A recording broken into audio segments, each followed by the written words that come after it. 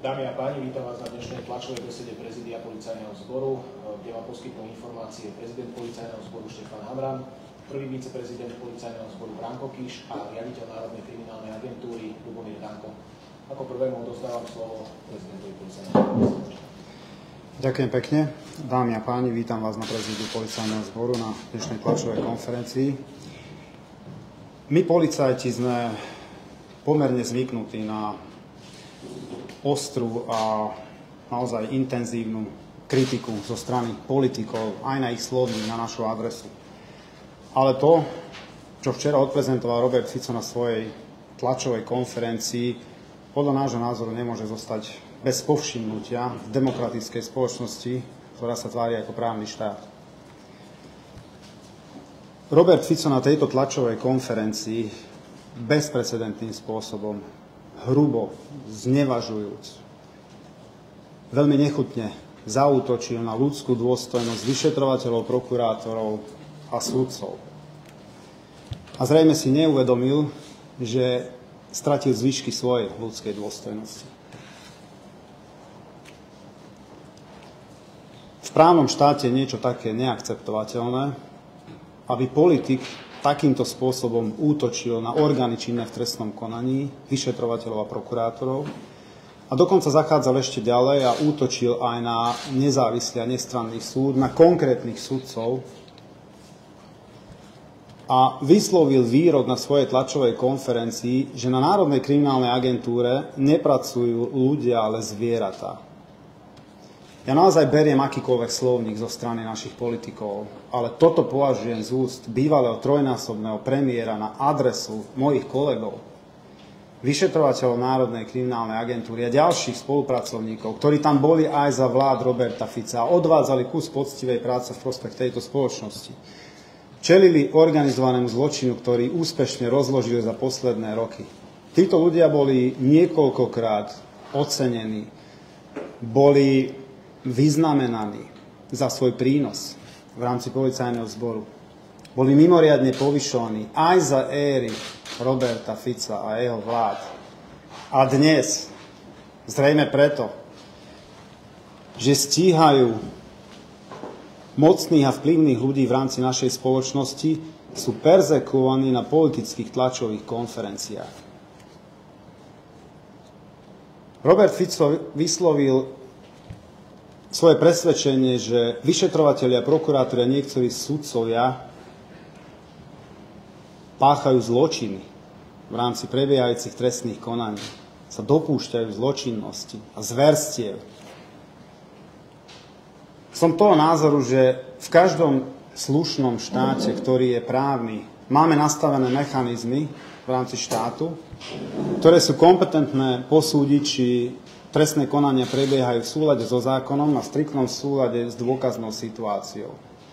V jednej veci sa s pánom Ficom môžem stotožiť ako policajný prezident, že v našej spoločnosti, v rámci polície, čiastočne prokuratúry a súdov, naozaj prebiehali zverstva.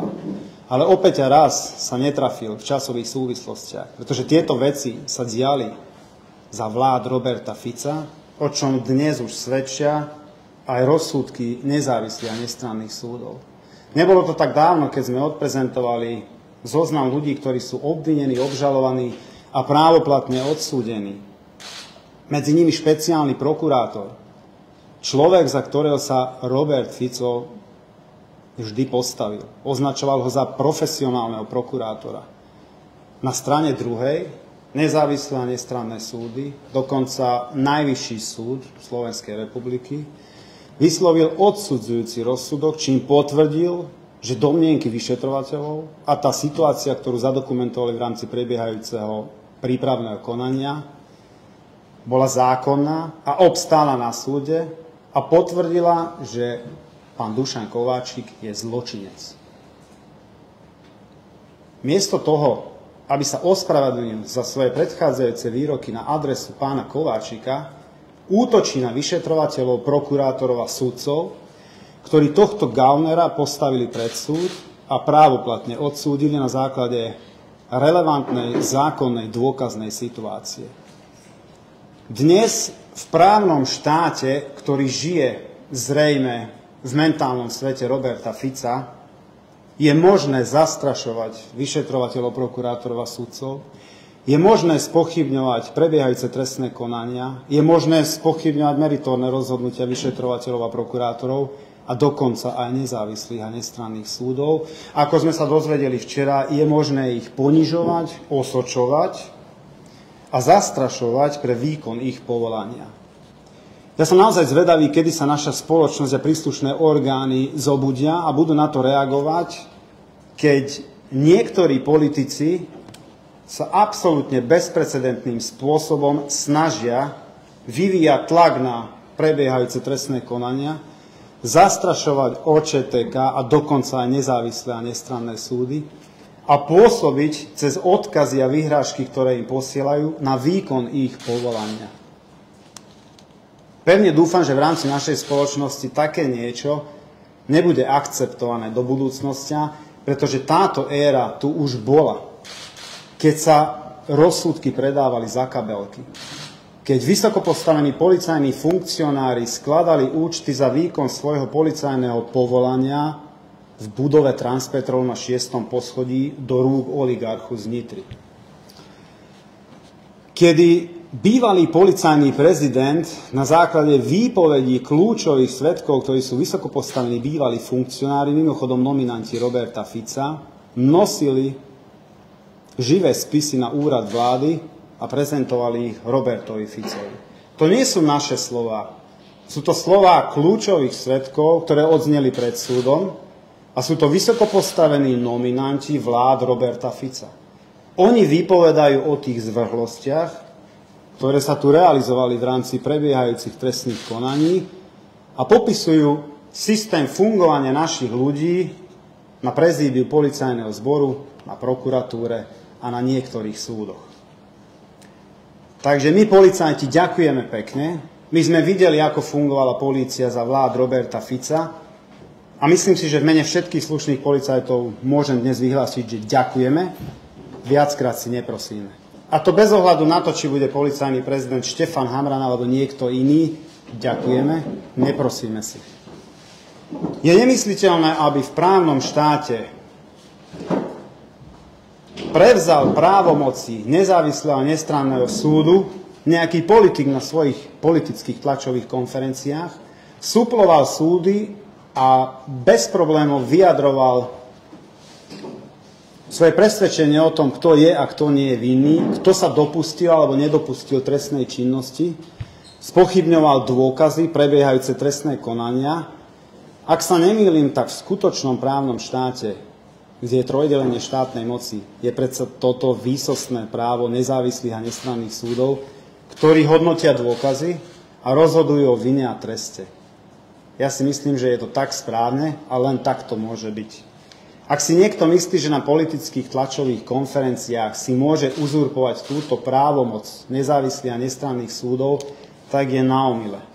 A práve preto si dovolím dnes vysloviť, že je úplne jedno, je irrelevantné, čo si myslí Robert Fico o prebiehajúcich trestných konaniach, je irrelevantné, čo si myslím ja, Štefan Hamran, ako policajný prezident o prebiehajúcich trestných konaniach. Podstatné, kľúčové, rozhodujúce, čo si o tom myslí nezávislý a nestranný súd, ktorý má na stole kompletne všetko. Vrátane kompletnej dôkaznej situácie. To je jediné podstatné. A ako to vidia nezávislé a nestranné súdy, konkrétne prípad vyšetrovateľa Čurilu a jeho kolegov, tak na to sa pozrieme teraz v nasledujúcich slajdoch, pretože to je podstatné a rozhodujúce.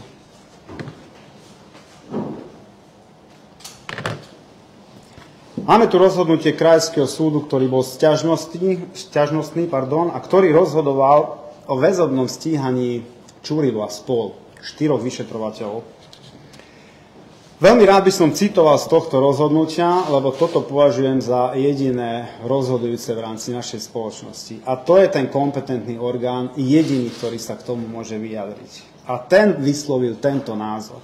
Na podklade dôkazov získaných vo veci i z obsahu rozhovorov zachytených v rámci odpočúvania možno vylúčiť, že skutok účelovo vymysleli, vyfabulovali a predstierali akože vyšetrovateľia Národnej kriminálnej agentúry. Ďalej, stiažnostný súd z týchto dôkazov ani z prepisov od posluchov nezistil žiadne indície o protiprávnom konaní obvinených. Robert Fico týchto vyšetrovateľov na politických tlačových konferenciách linčuje a označuje za vinných. Kategoricky vyhlasuje, že títo ľudia sa týchto ohavností, zverstiev a dokonca aj prokurátori a sudcovia dopustili. Ale máme na stole predsa súdne rozhodnutie, ktoré pevne dúfam, že v právnom štáte všetci akceptujeme, vrátane pána Fica, kde, kde súd vypovedá presne opačným spôsobom. A ten súd ide ďalej, pretože ten súd vyslovil aj záver, že skôr opačne. Mohli mať dôvody vyšetrovateľia NAKA, že dochádza k trestnej činnosti príslušníkmi inšpekcie a preto možno vylúčiť, že dôvody pre začatie trestného stíhania vyfabulovali. To znamená, že krajský súd, ktorý má k dispozícii kompletne všetky dôkazy, ktoré zadokumentovala inšpekcia pod dozorom Krajskej prokuratúry Bratislava, jednoducho zmietol zo stola 3-0 konkrétne tieto obvinenia zo strany inšpekcie vo vzťahu k vyšetrovateľom. Ten Senát rozhodol jednohlasne. Zároveň vyslovil svoje presvedčenie o tom, že práve na opačnej strane sú podozrenia, že na inšpekcii mohlo dojsť k manipulácii v rámci trestného konania. Pozrime si ďalšie rozhodnutie, pretože nemáme na stole len jedno rozhodnutie. Máme na stole rozhodnutie špecializovaného trestného súdu, ktorý rozhodoval v prípade, v prípade očistec o väzobnom stíhaní Tibora G. a Mariana Z., ktorí boli vysoko postavení funkcionári prezidia policajného zboru. Špecializovaný trestný súd, keď rozhodoval o ich väzbe, keďže obvinení tvrdili, že došlo k manipuláciám vo vyšetrovaní zo strany vyšetrovateľov NAKA, tak súd špecializovaný sa vyjadril spôsobom, že indície údajnom ovplyvňovaní výpovedí niektorých osôb či o inom manipulovaní vyšetrovania zatiaľ nedosiahli takú úroveň podozrenia, ktoré by snáď mohlo byť impulzom na prehodnotenie opakovane vyslovaného záveru o predbežnej dôvodnosti trestného stíhania týchto obvinených. Zjednodušene, súd sa stotožnil s tým, že vyšetrovatelia NAKA legitímne, zákonne a oprávnene stíhajú osobu Tibor G. a Marian Z. Toto vyslovil špecializovaný trestný súd. Tiež išiel ďalej, pretože si zároveň vyžiadal spis číslo 205, to je ten známy spis, ktorým začali vo veci konať vyšetrovateľia Národnej kriminálnej agentúry. A preštudoval si aj spis vyšetrovateľov. Kompletne ho mal na stole pretože naši vyšetrovatelia nemali čo skovávať a spis predložili. Avšak úrad inšpekčnej služby, konkrétne tým okolo pani Santosovej, legendárny tým Oblúk, nepredložil vyšetrovací spis 171, ktorým stíhali oni vyšetrovateľov NAKA. Ak niekto nemá čo skovávať, tak háda môže predložiť na požiadanie súdu vyšetrovací spis, aby súd nahliadol do toho vyšetrovacieho spisu a vedia sa objektívne rozhodnúť, či tie obvinenia majú alebo nemajú nejakú relevanciu. Takže súd na základe preštudovania aj 205 išiel ďalej a vyslovil záver, že naopak vyplýva, že to mohla existovať snaha iných osôb účelovo vyvolať zdanie nezákonného postupu OČTK. Takže špecializovaný trestný súd v podstate vyslovil po preštudovaní spisov obdobný záver ako stiažnostný krajský súd. To je už štvrtý súdca v poradí z iného súdu ako krajského. Keďže máme tu rozhodnutie aj Najvyššieho súdu, ktorý bol odvolací vo vzťahu k špecializovanému trestnému, tak sa pozrieme na to, ako na to nazeral Najvyšší súd Slovenskej republiky. Keďže obvinení prostredníctvom svojich obhajcov trvali na tom, že dochádza k manipuláciám cieleným a že ich stíhanie je vedené účelovo, tak sa na to pozrel samozrejme aj najvyšší súd cez prízmu prípadu vyšetrovateľov NAKA a konštatoval, že sťažnostný súd, teda najvyšší, sa stotožnil s vyjadrením prvostupňového súdu a konštatoval, že nevyplýva existencia reálneho podozrenia, že by došlo k nejakému manipulovaniu s výpovediami osôb či s inými dôkaznými prostriedkami. Takže aj najvyšší súd to videl identicky ako predchádzajúce dva súdy a tiež išiel ďalej, a čo je pre mňa zarážajúce, že tiež videl, že vyplýva skôr opačná snaha účelovo vyvolať zdanie nezákonného postupu orgánov činných v trestnom konaní v pojednávanej veci. Samozrejme, Najvyšší súd mal tiež k dispozícii vyšetrovací spis 205 našich vyšetrovateľov Národnej kriminálnej agentúry, ale nemal k dispozícii 171.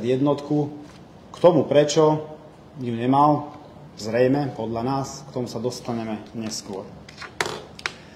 Takže toto sú tri rozhodnutia nezávislých a nestranných súdov a preto tvrdím, že irrelevantné, čo tvrdím ja na svojich tlačových konferenciách. Ja nemám čo hodnotiť dôkazy, ja nemám čo hodnotiť prebiehajúce trestné konania, a to isté by som odporučil aj politikom, pretože je to irrelevantné, čo tvrdia na svojich tlačových konferenciách. Toto je podstatné, akým spôsobom súd na základe dôkaznej situácie rozhodol. Kľúčové dôkazy úradu inšpekčnej služby, to znamená týmu oblúk, sú už známe zvukové záznamy z kancelárii Národnej kriminálnej agentúry. Uvádzam tam len ten prvý odsek len z toho titulu, že Hovorí sa tam o telekomunikačnej prevádzke a vieme, že bola zaznamenaná ako zvuková nahrávka, ale tam sa primerane používa paragraf 115 odsek 6. A v zmysle tohto ustanovenia, že asi najdôležitejší moment celého trestného stíhania vyšetrovateľov NAKA, toto je kľúčový fakt.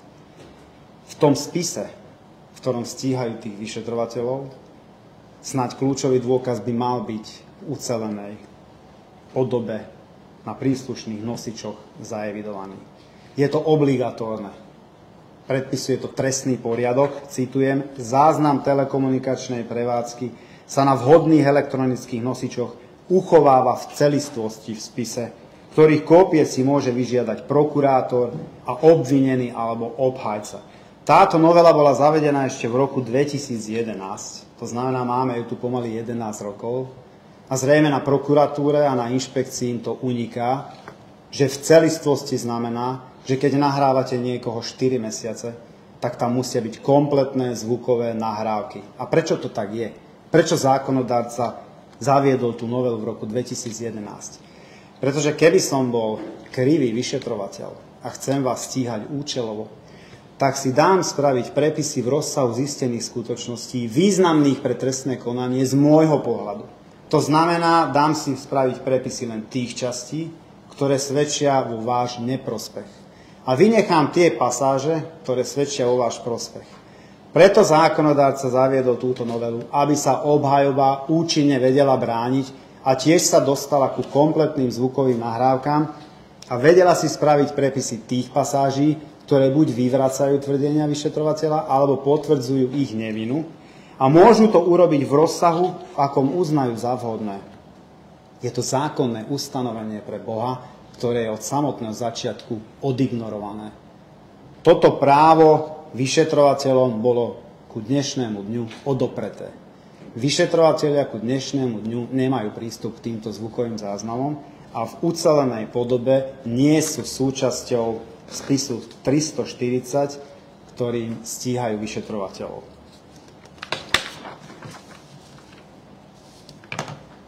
Zvukové záznamy, ako som spomínal, z celistvosti nie sú ani po roku vyšetrovania súčasťou spisu. Budeme sa na to pýtať určite pána generálneho prokurátora, že čo s tým stavíme, ako sa niečo také môže stať. Vyšetrovatelia sa takmer 12 mesiacov nedostali ku kompletnému spisovému materiálu, chýbajú zvukové záznamy. Neumožnené vyhotoviť prepisy zvukových záznamov, čo je logické v požadovanom rozsahu podaných viac ako 10 žiadností o nazretie do kompletného vyšetrovacieho spisu, vrátane zvukových záznamov z celistvosti, ku dnešnému dňu nevyhovené.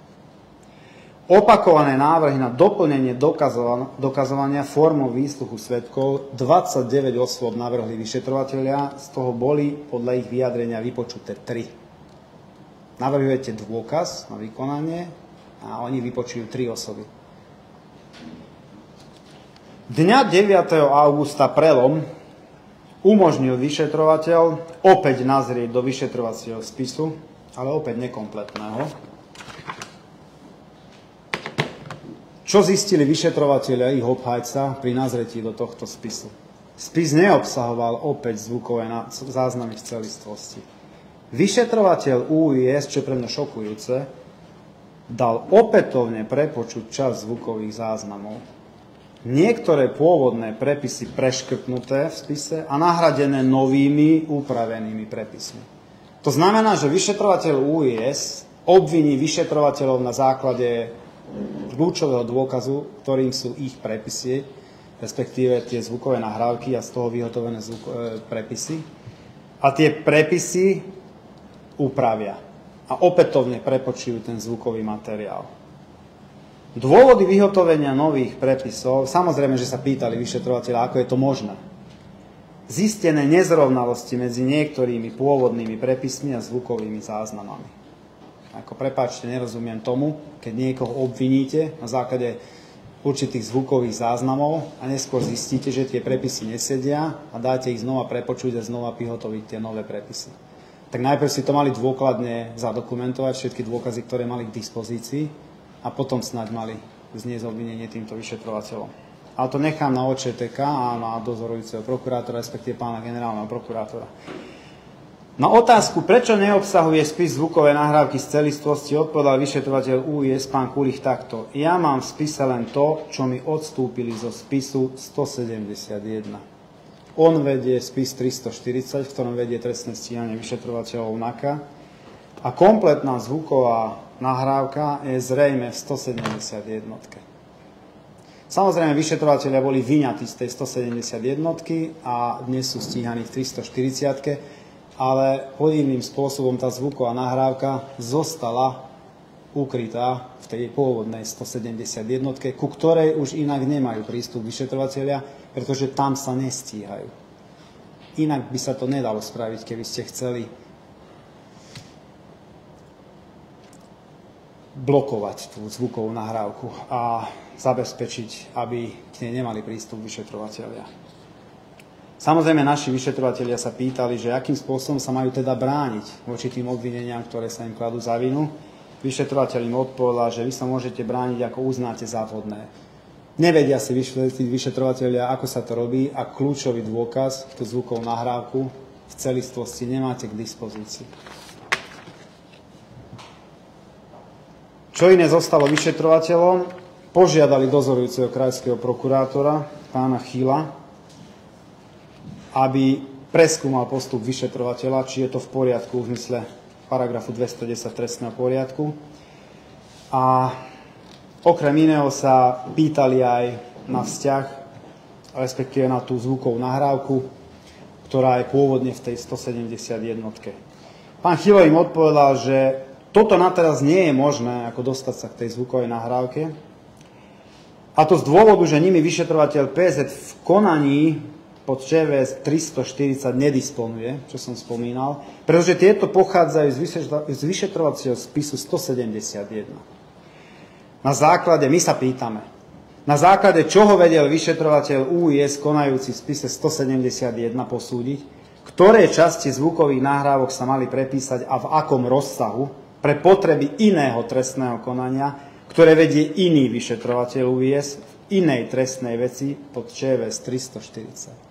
To znamená, že vyšetrovateľ vyšetruje v 340 našich vyšetrovateľov a jeho z úplne iného spisu zásobujú prepismi zvukových nahrávok nejaký iný vyšetrovateľ, ktorý nemôže mať predstavu, pretože vyšetrovateľ je samostatný, procesne samostatný, nemôže komunikovať svoje vyšetrovanie s iným vyšetrovateľom, nevedú spoločne vyšetrovanie, pretože nie je to spoločný vyšetrovací tým, mal by byť samostatný mal by si sám vypočuť celú zvukovú nahrávku a určiť tie pasáže, ktoré sú podľa neho relevantné z pohľadu trestného konania.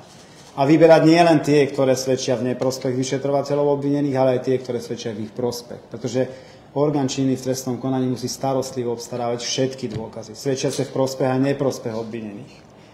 Na túto otázku sme ku dnešnému dňu odpoveď nedostali, ale pre porovnovanie dodávam, ako postupovali vyšetrovateľia NAKA. Známy prípad kauze, respektíve e, pracovnej skupiny Očistec a v prípade chata v Čifároch. Vyšetrovateľ Juhás tam vedie trestné stíhanie alebo viedol a všetky zadokumentované zvukové nahrávky zákonným spôsobom, keď zistil, že to má nejakú relevanciu vo vzťahu k prípadu očistec, odstúpil cez USP vyšetrovateľovi do očistca. Nie len parciálnu časť, on nemohol vedieť, že čo bude potrebať, čo bude z toho, z tých zvukových nahrávok relevantné pre vyšetrovateľa v očistci. Preto to zabalil a odstúpil kompletne do očistca. Tak sa to robí. A tak sa to má robiť podľa zákona. Inak sa to nemôže. A venál, tam bolo niekoľkokrát odstúpené takéto zvukové nahrávky z celistvosti do ďalších trestných vecí.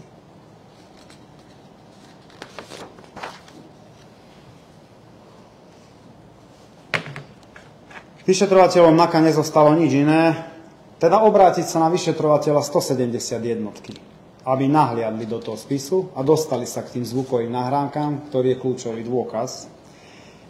Je pravdou, že nie sú oprávnenými subjektmi podľa trestného poriadku, ale zákon pozná výnimku a to v tom prípade, Môžu tak urobiť so súhlasom e, predsedu Senátu a v prípravnom konaní so súhlasom OČTK, ak je to potrebné na uplatnenie ich práv. Samozrejme, že je. Veď je tam kľúčový dôkaz skovaný v 170 jednotke, ku ktorej nemajú prístup vyšetrovateľia. Tak požiadali, aby im ten spis sprístupnili. Bolo im to odmietnuté s tým, že nie sú oprávneným subjektom. V odôvodnení vyšetrovateľ ďalej uviedol, vyšetrovateľ tej 170 jednotky, kde je tá zvuková nahrávka, že ich žiadosti nemôže v požadovanom rozsahu vyhovieť, ako som už spomínal, lebo nie sú oprávnenou osobou na zretie do spisu, ale zaujala ma tá, tá, to druhé odôvodnenie.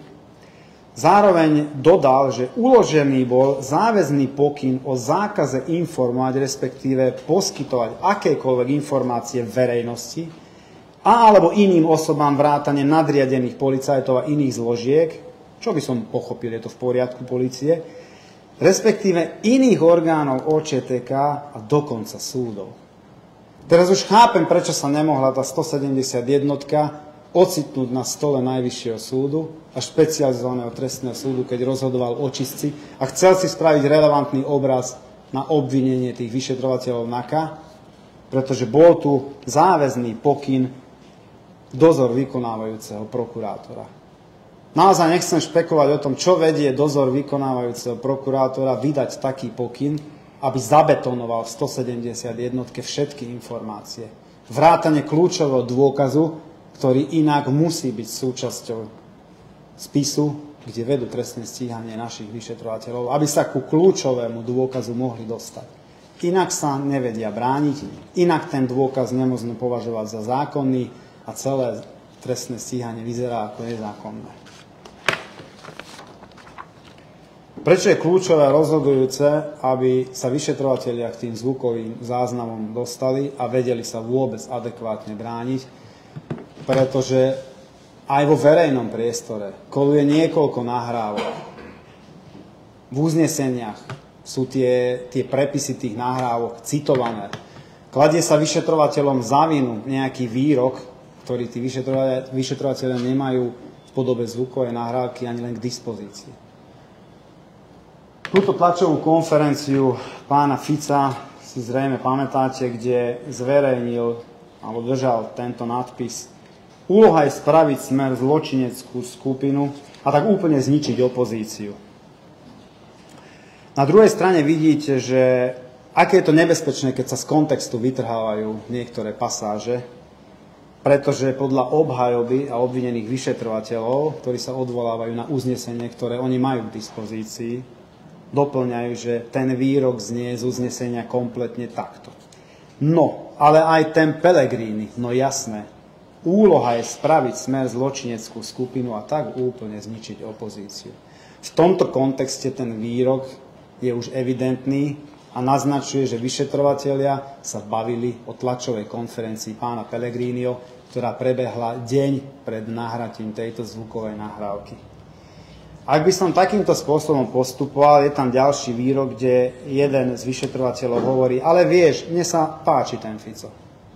Ak by som vytrhol z kontextu len túto vetu, tak zrejme by to vyjadrilo, že ten vyšetrovateľ zrejme sympatizuje s pánom Ficom ako s politikom. Lenže tá veta pokračuje. Doteraz to boli všetko jeho nominanti, to bolo v pohode a teraz už sú to vie špinaví kajúcnici.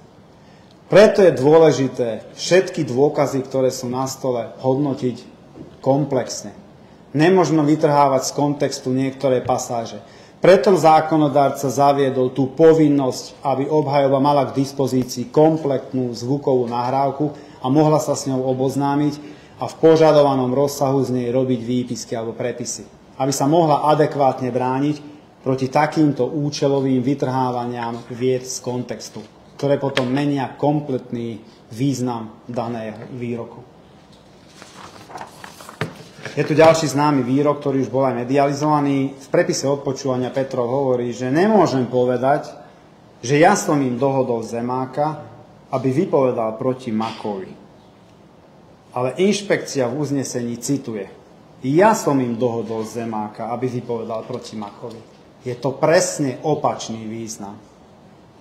Je to manipulácia. Dokonca ten vyšetrovateľ inšpekcie si dal tú námahu, že počiatočné, počiatočné písmeno slova ja zmenil na veľké, aby to vzbudzovalo dojem, že tá veta tak začína a nič jej nepredchádzalo. Ale predchádzalo popretie tohto výroku nemôžem povedať, že som zabezpečil. Takýmto spôsobom sa môže naozaj manipulovať prebiehajúce trestné konanie. Preto je dôležité, opakujem, aby vyšetrovatelia konečne mali k dispozícii kompletný dôkazný materiál, to znamená zvukovú nahrávku v celistvosti, ukrytú, zabetonovanú v spise číslo 171. Ďalší výrok. Podľa uznesenia GP vyšetrovateľ Ďurka mal povedať. Uznesenie o začatí není nezrozumiteľné slova, tam píšeme, čo chceme. Je pre mňa zarážajúce, že presne tá kľúčová podstata vety je na zvukovej nahrávke údajne nezrozumiteľná, ktorá kompletne mení význam vety a zároveň vysvetľuje, prečo sa ten vyšetrovateľ týmto spôsobom vyjadruje. Pretože Ďurka dnes tvrdí, ktorý nemá k dispozícii zatiaľ zvukový záznam, že povedal, uznesenie o začatí není list Ježiškovi, že si tam píšeme, čo chceme.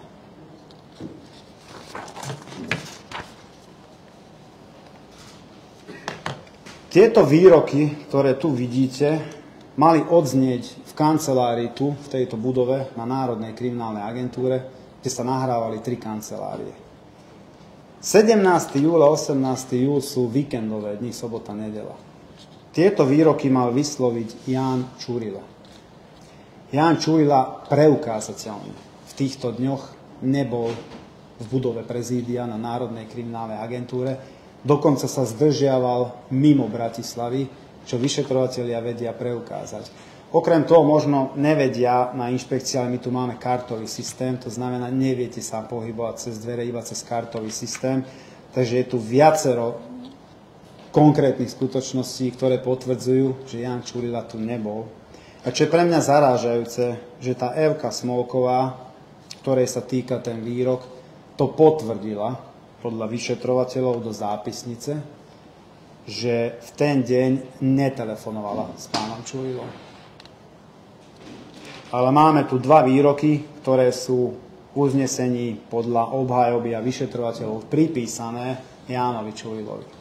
Nečudujem sa potom, že boli nútení po zbrklých prepisoch prepočúvať ešte raz ten zvukový materiál a možno niektoré prepisy poupravovať, tak aby aspoň čiastočne korešpondovali s realitou.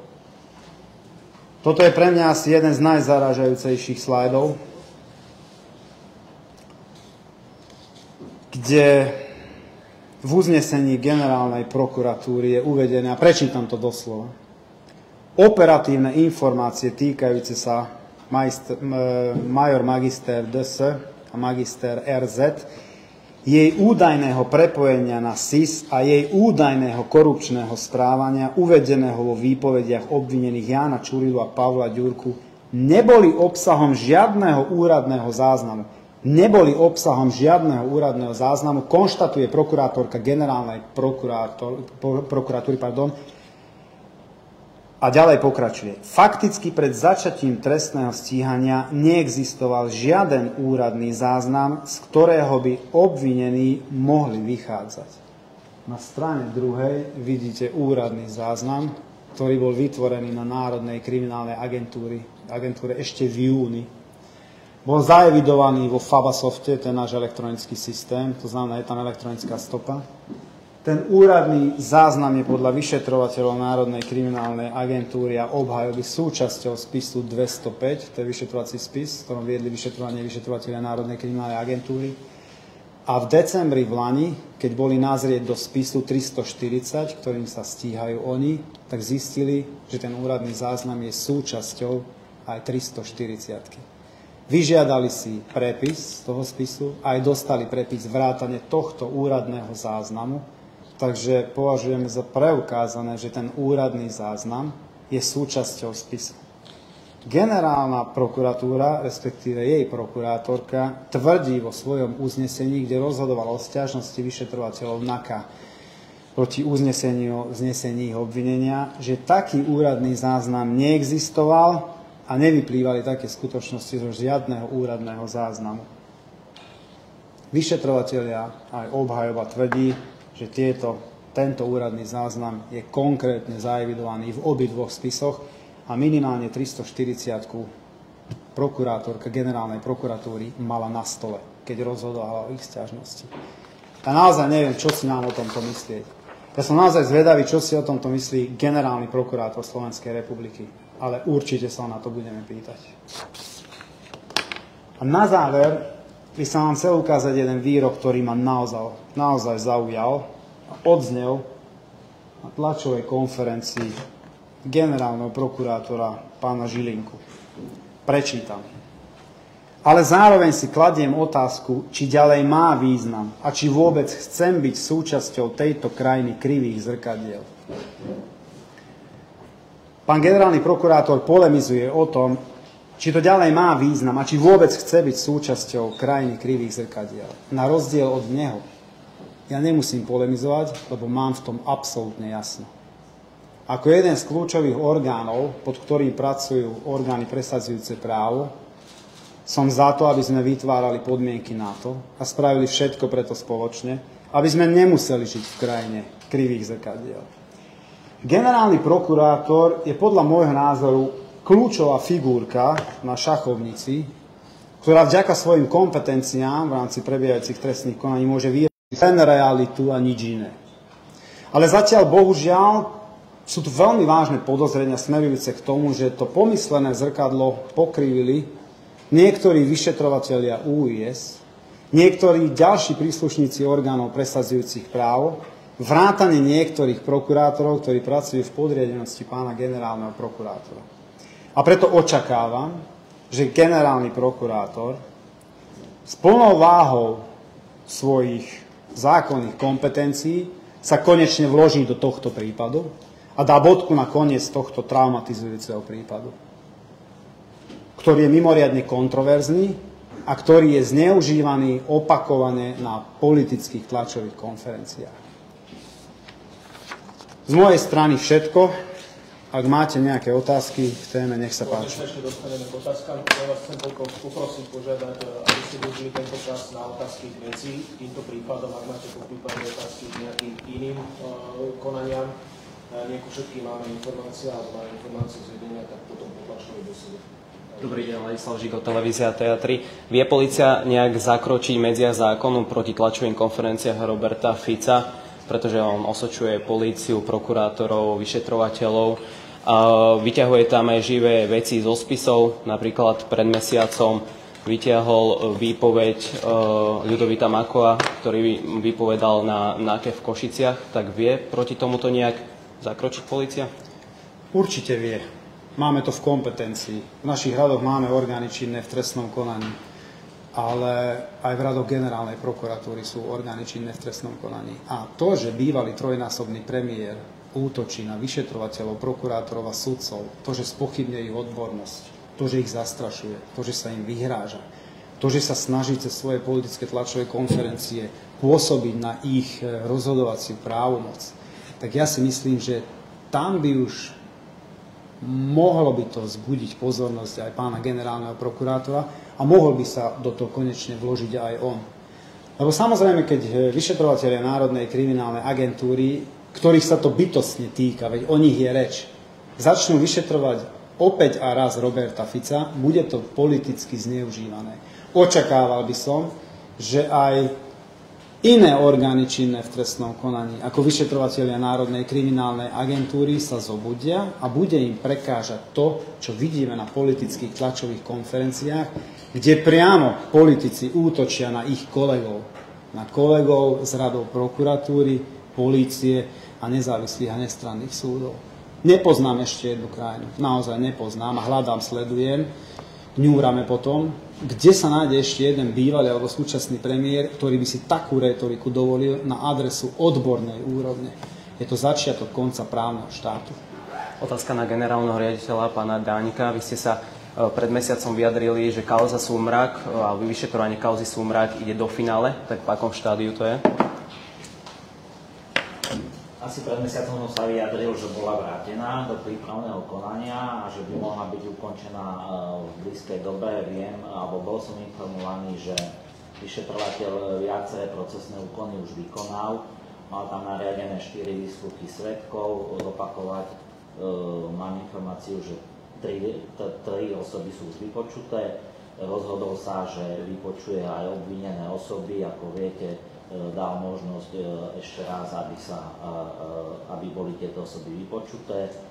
A predpokladáme, to je len môj predpoklad, že keď tieto úkony vykonám všetky, tak rozhodne vo veci. Takže ja tam nechcem polemizovať o nejakom čase, ale z toho mi príde, že možno, že v nejakom krátkom čase by to mohol ukončiť. Pokiaľ, pokiaľ samozrejme nevidí nejaké nové dôkazy, ktoré bude potrebné Robert Fico bol včera vypovedaný na v Trnave. Prečo zmena miesta a aj vyšetrovateľa? E, je to zmena miesta, pretože my sme od samého začiatku e, som komunikoval, že v danej veci e, vyšetrovanie vedú traja vyšetrovateľia, je tam pracovná skupina, jeden z nich je dizlokovaný na odbore Západ, keďže vykonával úkon tento vyšetrovateľ, ktorý je dizlokovaný na odbore Západ, tak logicky sa vysluch vykonal v Dobrý deň, Zuzana Ferenčáková, televízia Markíza. Robert Fico včera na tej tlačovej besede potom spomínal aj to, že pán vyšetrovateľ v Trnave údajne nemá kompletný spis. K tomuto sa viete nejakým spôsobom vyjadriť?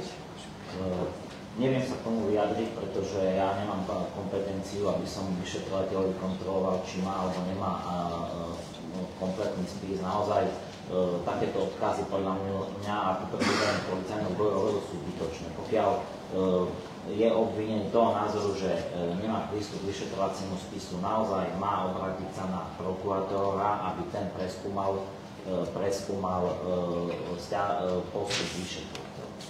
Takže je potrebné sa potom týmto spôsobom. Ja by som sa ešte teda vrátila k vyšetrovateľom okolo Jana Čurilu. Vy sa s nimi asi teda zrejme rozprávate každý deň. Ako oni vnímajú všetky tieto tlačové konferencie opozičných politikov? Vnímajú to ako zastrašovanie a je zarážajúce, viete, že inšpekcia, Slovenská informačná služba, dozorujúca krajská prokuratúra vykonali enormné úsilie smerujúce k tomu, aby preukázali vinu týchto vyšetrovateľov. Bol nasadený agent, boli nasadené informačno-technické prostriedky. 4 mesiace odpočúvali tri kancelárie vyšetrovateľov NAKA boli vykonané invazívne úkony, zadržali ich, väzobne ich stíhali, zaistili im kompletný vyšetrovací spis. A viete, čo sa podarilo preukázať? Na tých troch prvých slajdoch ste to videli, ako sa k tomu nezávislé a nestranné súdy postavili, ktorí na rozdiel od Fica a mňa mali k dispozícii všetky dôkazy, ktoré zadokumentovala inšpekcia pod dozorom Krajskej prokuratúry.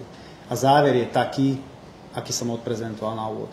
Nepreukázali absolútne nič. Vyšetrovatelia sa cítia byť zastrašení, ale keďže sú to skúsení vyšetrovatelia, ja si myslím, že ich to len utvrdzuje v tom predsavzatí, že sme na správnej ceste, aby sa mohla očista tejto spoločnosti konečne završiť v nejakom reálnom čase.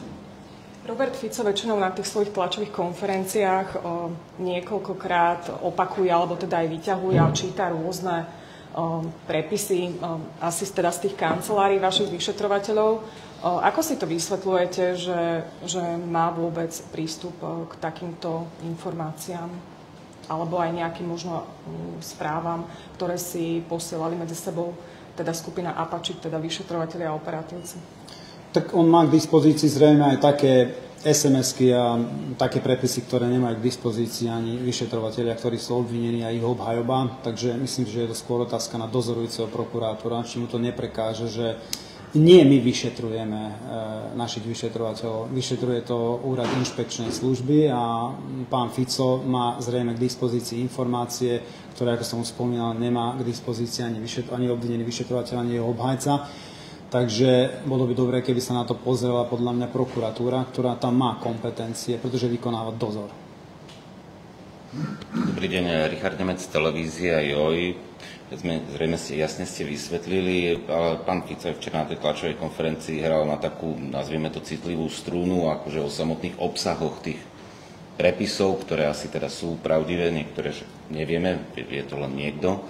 Eh, čo si možno o tom myslíte, o takom tém, tom spôsobe rozprávania sa medzi vyšetrovateľmi, že pretože oni tam naozaj vyťahujú také veci, že z nich robia, ako to on nazval, že zvieratá, že sa ako jeden normálny človek môže takto vyjadrovať, že či ide o nejakú takú, nazvime to, bežnú mluvu proste medzi dlhoročnými vyšetrovateľmi, alebo aby ste to vedeli možno na laickej verejnosti nejako opísať.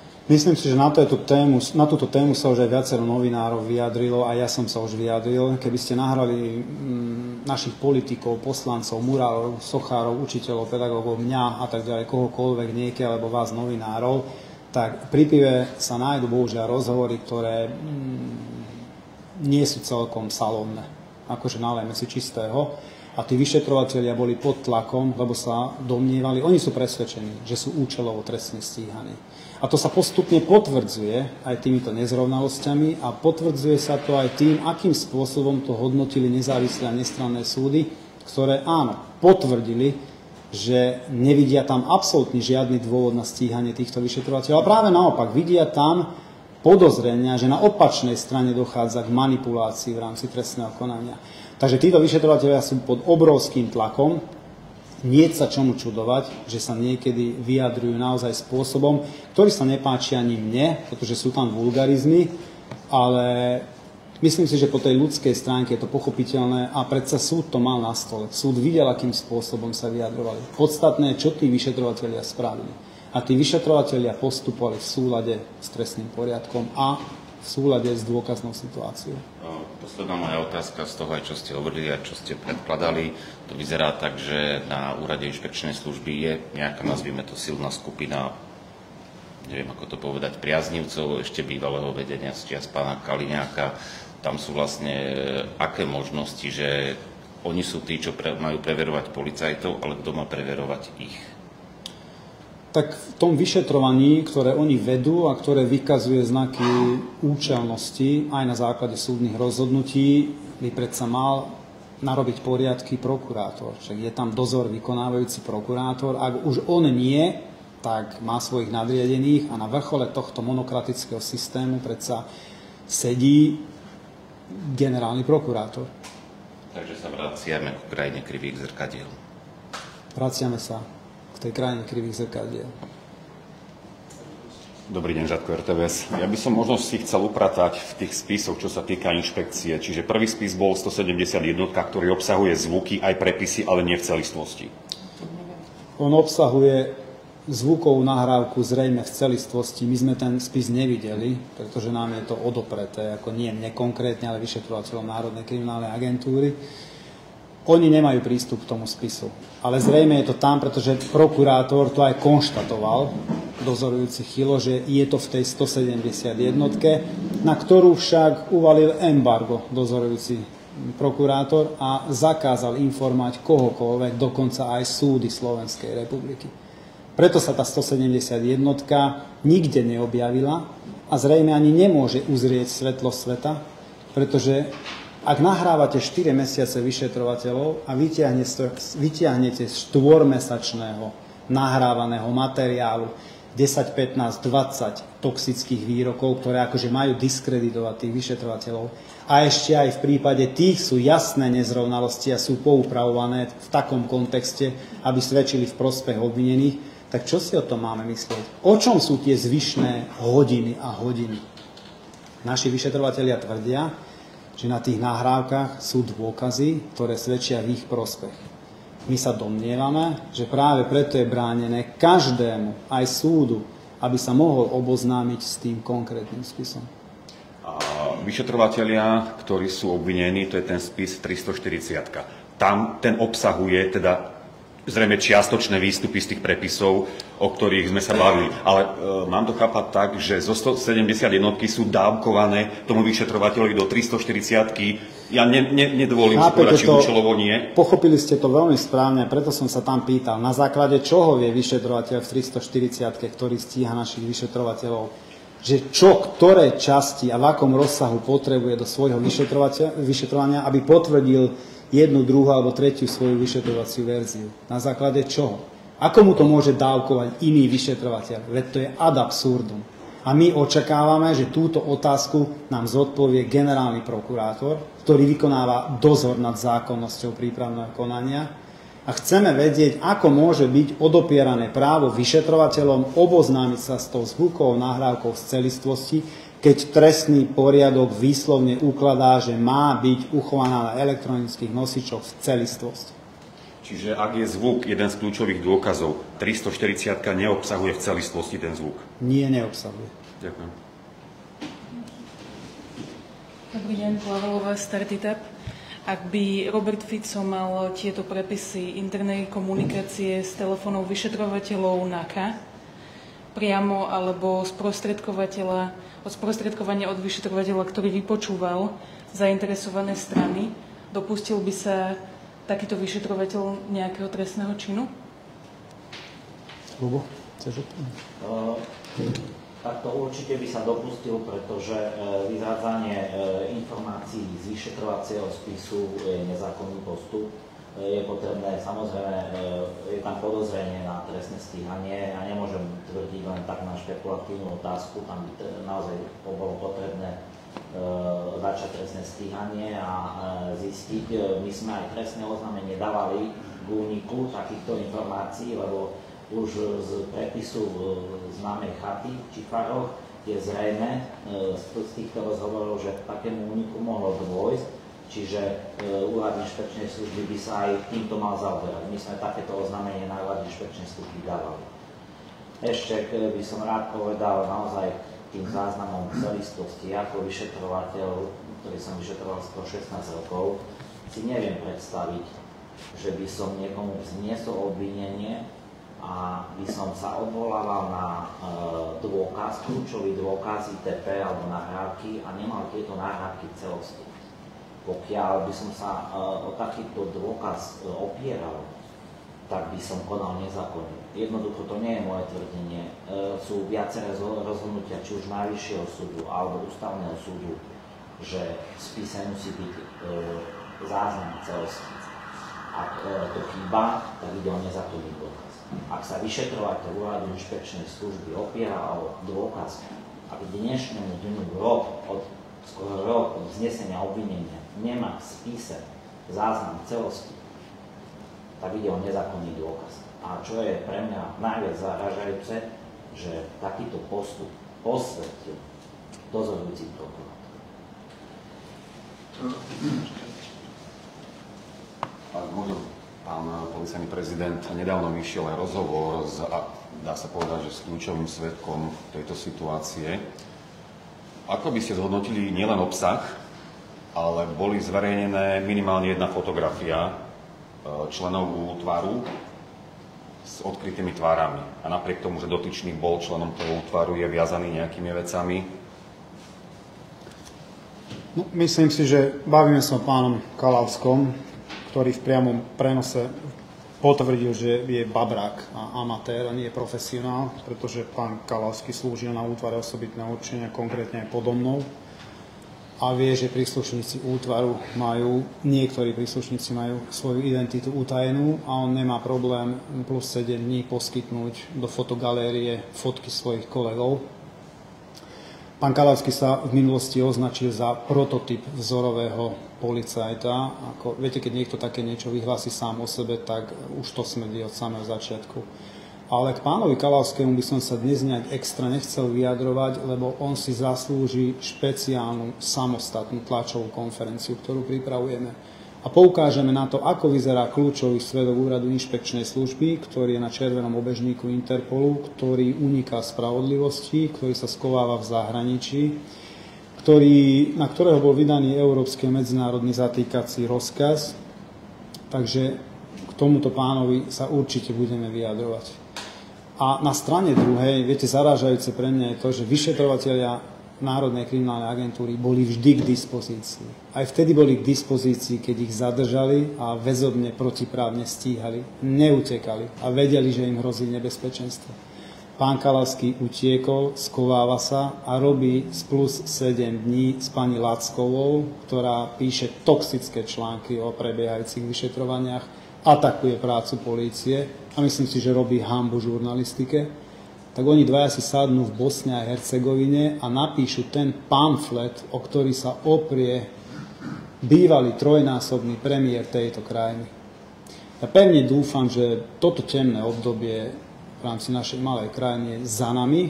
Tento prípad sa skôr či neskôr ozrejmí a ako som vám povedal, tie temné sily nakoniec prehrajú.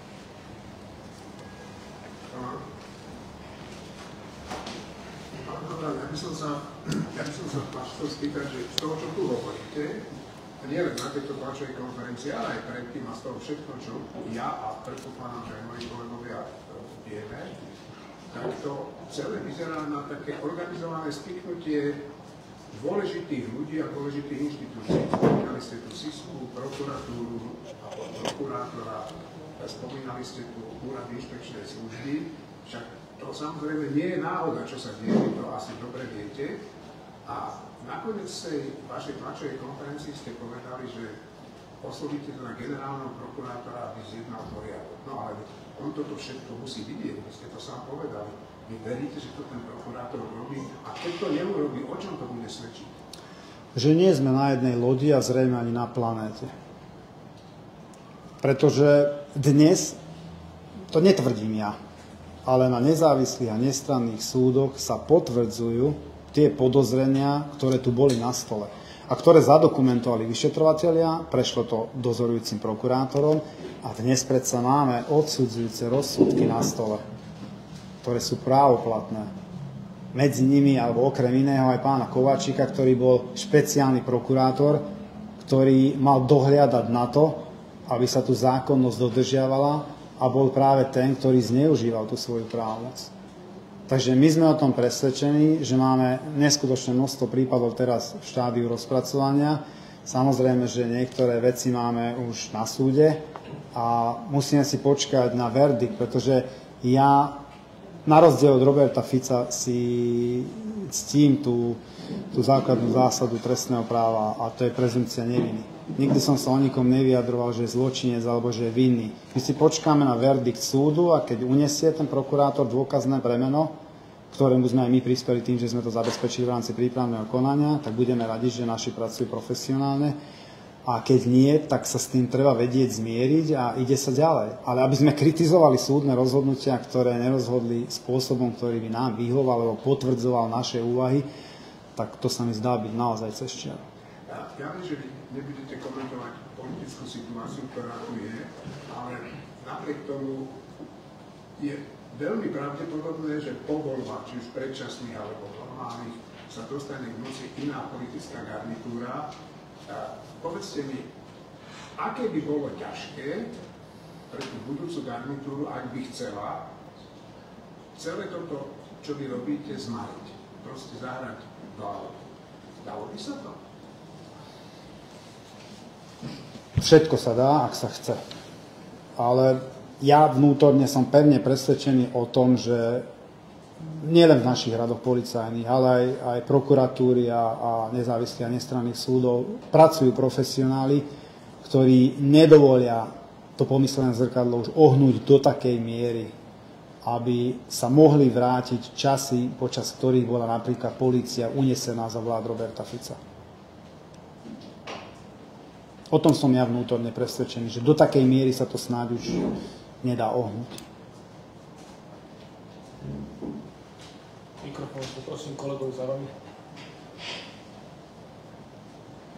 Na to určite iných sme, v podstate ste odpovedali už na moju otázku, ale chcem sa ešte tak dopýtať, že vlastne tým SMS-kám, ktoré prezentuje pán Robert Fico, aj z, toho, z tej včerajšej tlačovej besedy, o, nie je to predsa len trošku začiarov, ako sa tam tí vyšetrovateľia rozprávajú. Čo si vy o tom myslíte?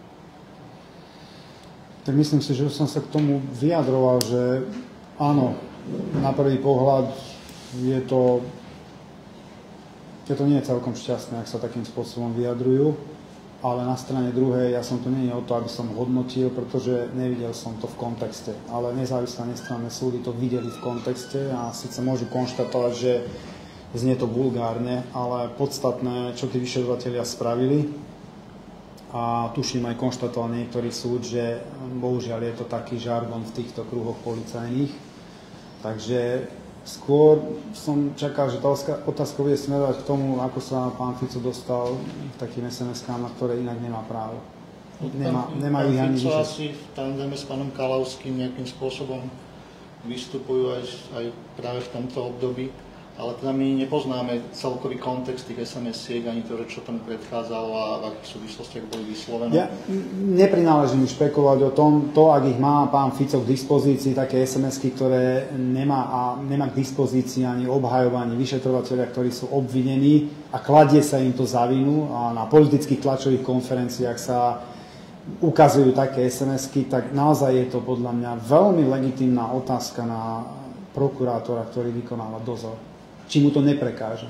Ja som práve smeroval, že či vy teda máte vedomosť o tom, či sú tie SMS-ky autentické a ako znejú v kompletnom slede alebo v tej kompletnej komunikácii. Ja to neviem posúdiť. Na politických tlačových konferenciách tvrdia, že sú, ale ako som spomínal, to je irrelevantné, to je podstatné, čo si o tom myslí nezávislý a nestranný súd a čo si o tom myslí napríklad dozorujúci prokurátor. Takže ja by som vaše otázky určite presmeroval pána dozorujúceho prokurátora. Nech sa k tomu vyjadri, lebo podľa môjho názoru by mu to malo prekážať. Ďakujem. Ja môžem len jednu otázku mimo témy, keď už vás tu máme.